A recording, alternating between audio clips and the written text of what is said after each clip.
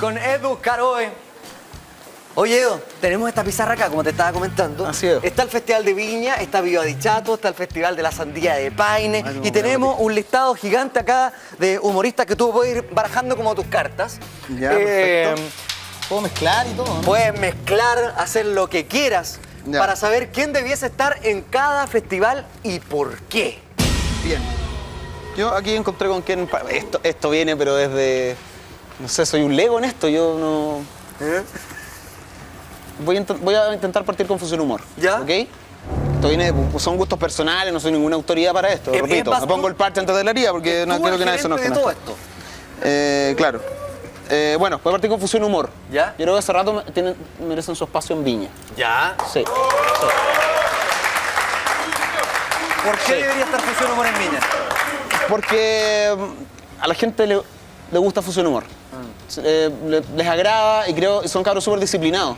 Yo he compartido con ellos, han ido a ver mi espectáculo y son disciplinados en el sentido de hacer, de hacer rutina, de estar creando cosas nuevas.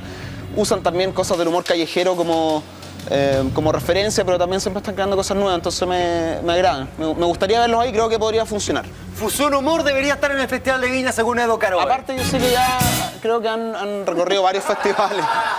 Qué lindo. Han recorrido compadre. varios festivales.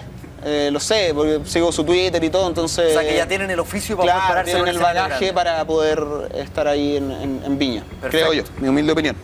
Puedes seguir barajando tus cartas, tus alternativas, Edo Caroe. Claro. Festival de Viña, Viva Dichato, Festival de la Sandía de Paine. El maestro. El maestro Felo, yo creo que habría que crear un festival para él. Sí. Festival de sí, Felo. Sí, festival de Felo. ¿A dónde lo pondríais si en estas tres Es que alternativas? Felo es, eh, eh, pasa lo mismo. Yo sé que ya ha estado en todos los festivales, e incluso ha estado en el Festival de Viña. Me encantaría verlo de nuevo, eh, con una nueva rutina. Yo la otra vez lo fui a ver en la Comunidad Ecológica Peñalolén, un show que tiene con cosas nuevas, me gusta. Me gusta para que esté en Viña y para que lo pueda ver la mayor cantidad de gente. ¿Te funcionó como influencia en algún momento? Sí, también, también.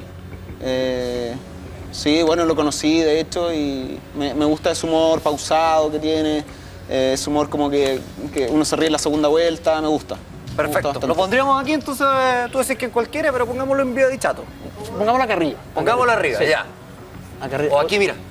Me siento como Pamela Giles. Pegando papelitos. Aquí, mira. acá. Puedes pegarla ahí. Aquí. Ahí.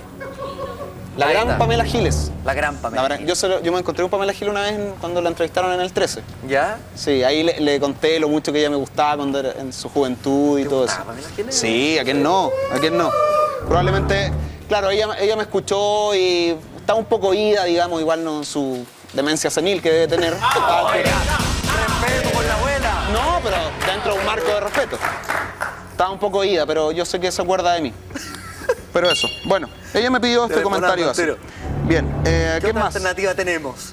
Eh, a Tú ver, puedes poner a quien quieras en el festival que quieras según lo que estimes conveniente. todo este humorista es, es una...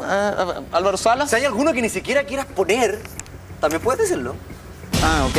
Bien, entonces... eh, Aquí en libre albedrío. bueno, acá, Vanessa Miller. ¿Ya? No la pondría en un festival Ya. nuevamente. Yo la vi y sufrí con su actuación.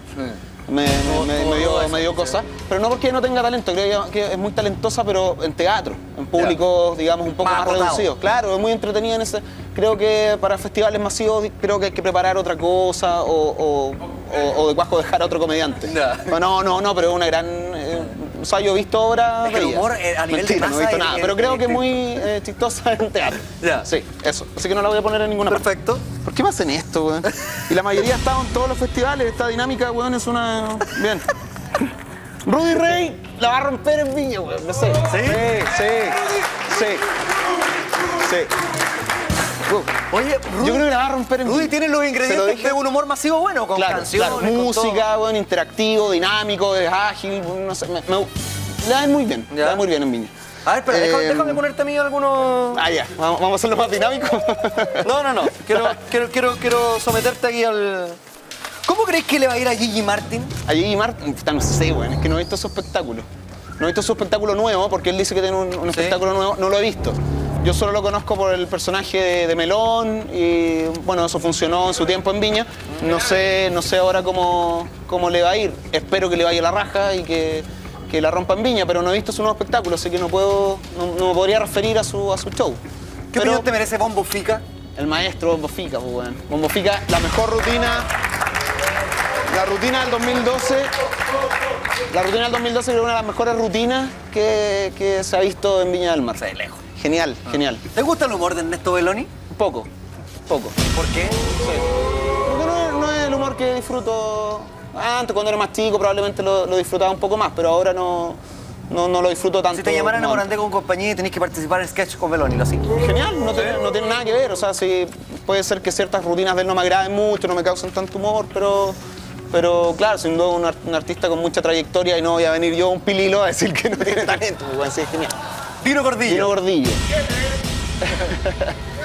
Eh, uy, Dino Gordillo, me gustaría verlo en cualquier festival porque hace rato no lo veo en ninguna parte. Y es bueno, Dino Y Gordillo. yo disfrutaba mucho su rutina. La última no tanto porque repitió muchos chistes y eso el público le afecta. Creo que, que cuando el público empieza a escuchar los mismos chistes siempre es complejo.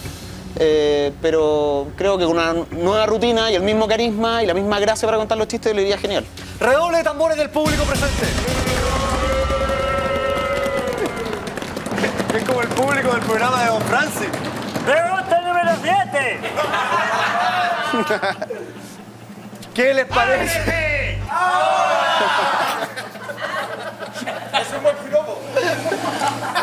Vamos a descubrir al siguiente personaje.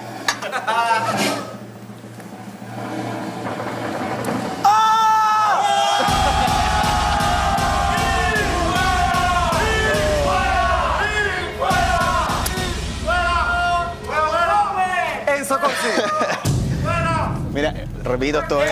Esto es Un público fanático de Corsi. un público ambiguo completamente. Eh, bueno, reitero que esto es de gusto personal. A mí Enzo Corsi probablemente el que menos me agrada de todos los comediantes en Chile. No me... En Chile. Claro. Y tampoco me agrada como persona. No,